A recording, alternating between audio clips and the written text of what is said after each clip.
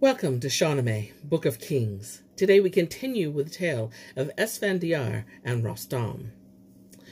Esfandiar answered, Too much talk is pointless. Our stomachs are empty. The day's half over, and we've said enough about battles. Bring whatever you have to our supper, and don't invite those who talk the whole time. When Rostam began to eat, the others were astonished at his appetite. They sat opposite him, watching him feast. Then Esfandiar gave orders that Rostam be served with red wine, saying, We'll see what he wants when the wine affects him. And he talks about King Kavas. A servant brought old wine in a goblet, and Rostam toasted Goshtasp and drank it off. The boy refilled it with royal vintage, and Rostam said to him quietly, there's no need to dilute it with water. It takes the edge off the old wine.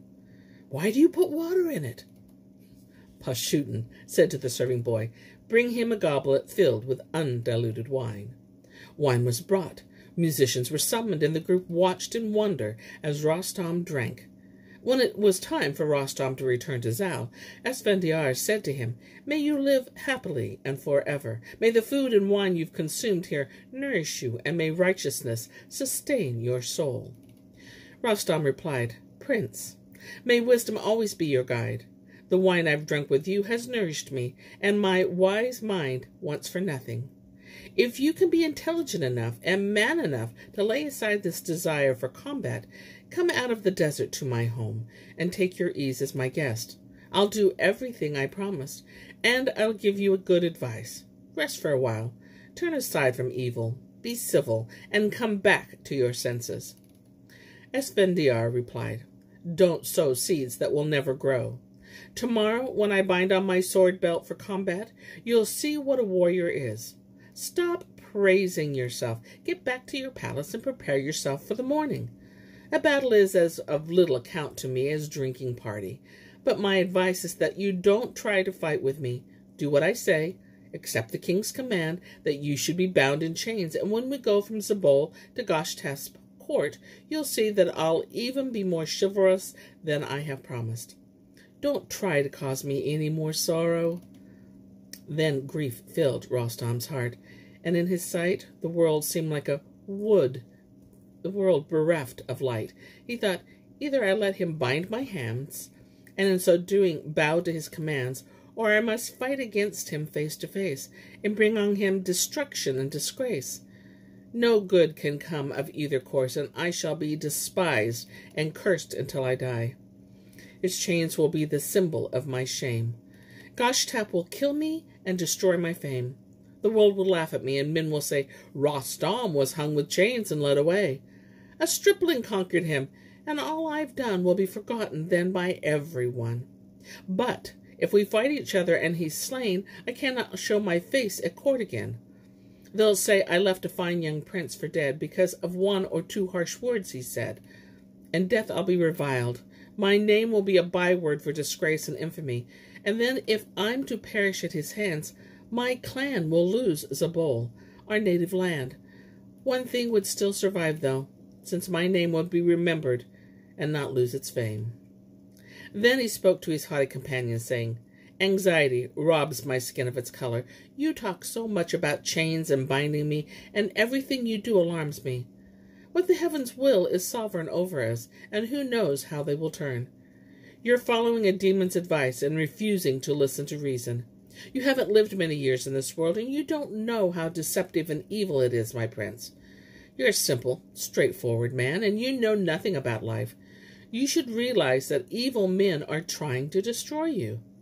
Goshtasp will never tire of his crown and throne, and he will drive you throughout the world, make your face every every danger to keep you away from them.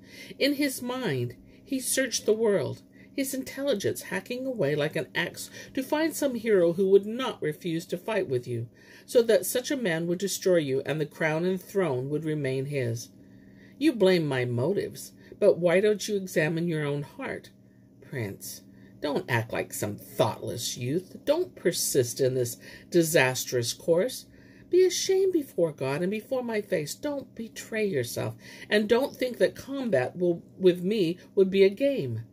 If fate has driven you and your men here, you will be destroyed by me. I shall leave an evil name behind me in the world, and may the same fate be Goshtasp's. Esfandiar replied, Great Rostam, think of what a wise sage once said. A man in his dotage is a fool, no matter how wise or victorious or knowledgeable he's been.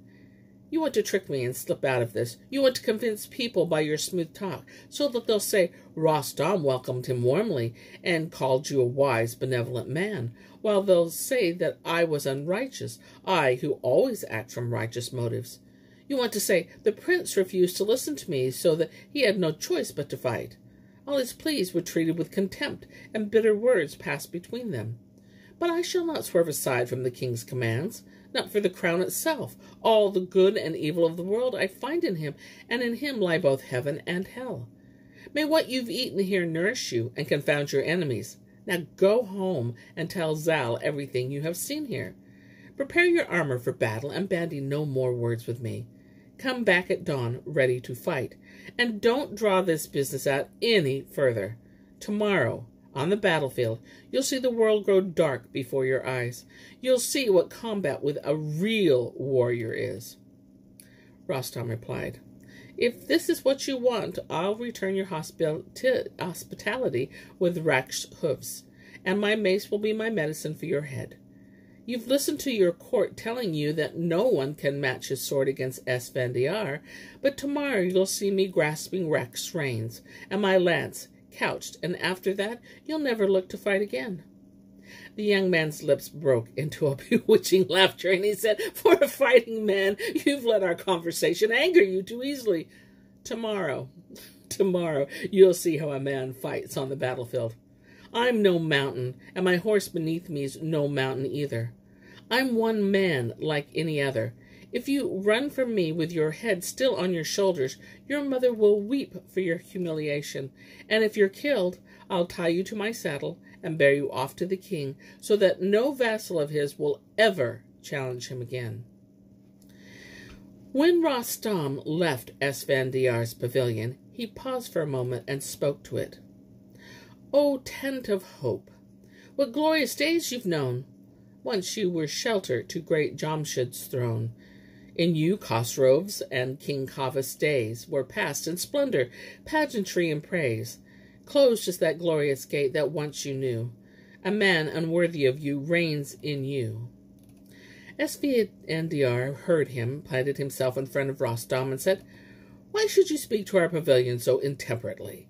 This Zabalastan of yours should be called Laut Estan, because when a guest has eaten his fill here, he starts loudishly insulting his host. Then he too addressed the royal tent. You sheltered Jamshid once, who erred and strayed, who heard God's heavenly laws and disobeyed. Then came Kavas, whose blasphemous desires sought to control the sky's celestial fires. Tumult and plunder, plots, perfidy, pain filled all the land throughout his wretched reign. But now your walls encompass King Goshtasp, who rules his wise counselor Jamasp. The prophet Zoroaster, who brought heaven's scriptures to us, shares his noble court. Good Pashutan is here, and so am I, his prince watched over by fuming sky, protector of the good, scourge of the horde of evildoers who bow before my sword. When Rostam had left, Esfandiar turned to pa- Pashutan and said, There's no hiding such heroism. I've never seen such a horseman, and I don't know what will happen tomorrow on the battlefield. When he comes armored to battle, he must be like a raging elephant, his stature a marvel to gaze upon. Nevertheless, I fear that tomorrow he will face defeat. My heart aches for his kindness and glory, but I can't evade God's command tomorrow when he faces me in combat. I'll turn his shining days to darkness. Pashutan replied, Listen to what I have to say. Brother, do not do this. I've said it before, and I will say it again, because I will not wash my hands of what is right. Don't harry him like this. A free man will never willingly submit to another's tyranny. Sleep tonight, and when dawn comes, we'll go to his castles without an escort, and there will be his guest and answer his every anxiety.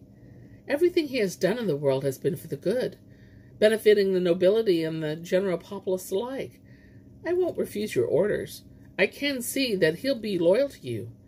How long are you going to go on with all this rage and anger and malice? Drive them out of your heart. Esfandiar answered him. Thorns have appeared among the roses. Then a man of pure faith shouldn't talk as you're doing. You're the first counselor to Persia's king, the heart, eyes, and ears of its chieftains, and yet you think it right and wise to disobey the king like this? Then all my pains and struggles were pointless, and Zoroaster's faith to be forgotten, because he has said that hell will be the home of whoever turns against it, aside from his king's command. How long are you going to tell me to disobey Goshtasp? You can say this. How can I agree to it? If you're afraid for my life, I'll rid you of this fear today. No man ever died except at his appointed time, and a man whose reputation lives on never dies. Tomorrow you'll see how I'll fight against the fearsome war, nor. Pashutan said, And for how long are you going to talk about fighting?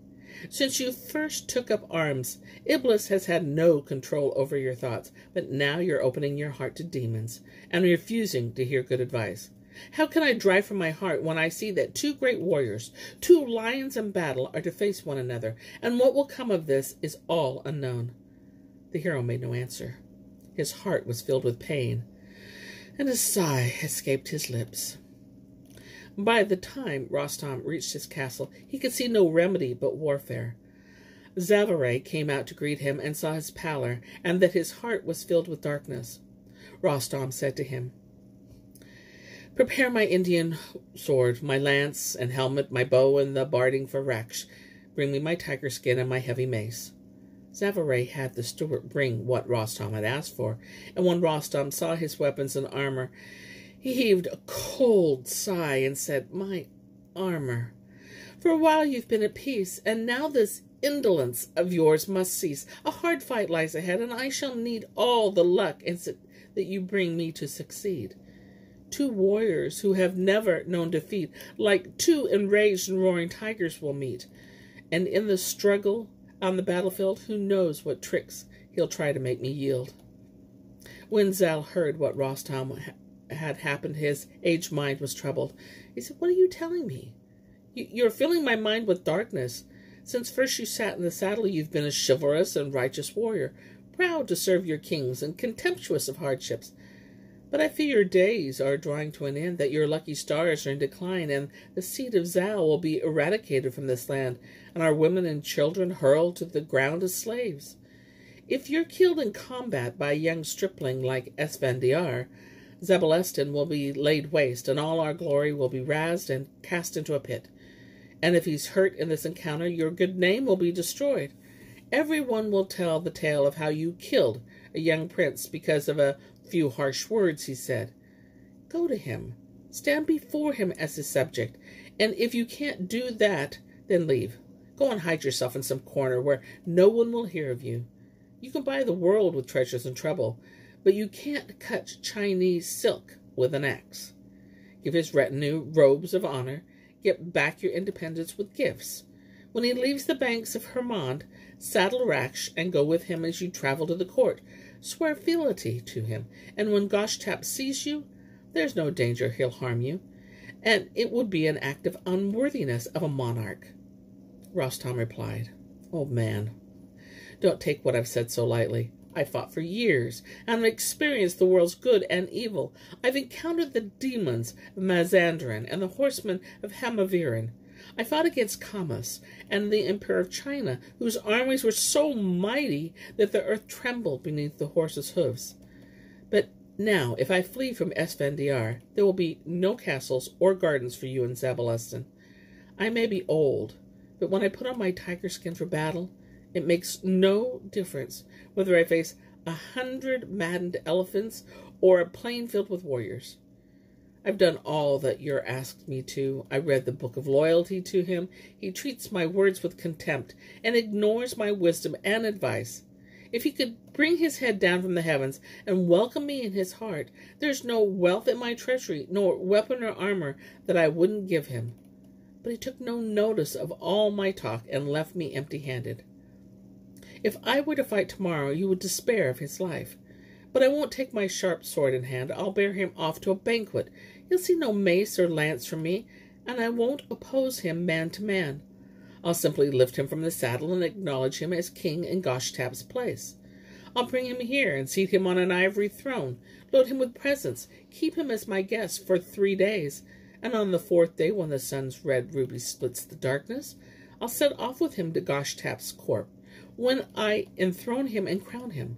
I'll stand before him as his loyal subject, concerned only for Esfandiar's commands. You remember how I acted with Kobad? And you know how it, it's my quarrelsome, passionate nature that's made my reputation in the world. And now you're telling me either to run off and hide or submit to his chains? Zal broke out into laughter, shaking his head in wonder at his son's words. He said, Don't say such things. Even demons couldn't put up with such foolish talk. You chatter about what we did with Kobad, but he was living obscurely in the mountains then. He wasn't a great king, with a throne, a crown, treasure, and cash at his disposal. You're about Esfandiar, who counts the Emperor of China among his subjects. And you say you'll lift him from his saddle and bear him off to Zal's palace? An old, experienced man doesn't talk like this. Don't court bad luck by setting yourself up as the Persian king's equal. You're the best of all our chieftains, but I've given you my advice, and may you follow it. Having spoken, he bent his forehead to the ground in prayer. Just judge, I pray you, to preserve us from an evil fate. And so he prayed throughout the night, his tongue untiring until the sun rose above the mountains. When day broke, Rostam put on his mail and tiger skin, hitched his lariat to his saddle, and mounted Raksh. He summoned Zavaray, and told him to have the army's ranks drawn up in the foothills. Zavaray saw that this was done, and Rostam couched his lance and rode out from the palace. His soldiers called out encouragement as he went forward, followed by Zavaray, who was acting as his lieutenant. Privately, Rostam said to him, Somehow I'll put paid to this evil devil's spawn and get my soul back in the light again. But I fear I shall have to harm him, and I don't know what good can come of all this. You stay with our troops, while I go to see what fate has in store for me. If I find he's still the same hothead, spoiling for a fight, let me face him alone. I don't want any of our warriors hurt in this. Victory favors the just. He crossed the river and began to climb the opposite bank and wondered if the world's ways filled his mind. He faced Esfandiar and shouted, Your enemy has come. Prepare yourself. And as Esfandiar heard the old lion's words. He laughed and shouted back, I've been prepared since I woke. He gave orders that his armor, helmet, lance, and mace be brought. And when he was accoutred, he had his black horse saddled and brought before him. Then, glorying in his strength and agility, he thrust his lance point into the ground, and the leopard, leaping on a wild ass and striking terror into its hearts, he vaulted into the saddle. The soldiers were delighted and roared with approval. Esfandiar rode toward Rostam, and when he saw his opponent had come alone, he turned to Pashutan and said, I need no companion in this. He is alone, and I shall be too. We'll move off to higher ground. Pashutan withdrew to where the Persian soldiers waited, and the two combatants went forward to battle as grimly as if all pleasure had been driven from the world. When the old man and his young opponent faced each other, both their horses neighed violently, and the noise was as though the ground beneath them split open. Rostam's voice was serious when he spoke. Young man, you're fortune's favorite, and your heart's filled with the joys of youth. Don't go forward with this. Don't give yourself up to anger. For once, listen to wisdom's words. If you're set on bloodshed, say so, and I'll have my Zaboli warriors come here, and you can send Persians against them, and the two groups can show their mettle.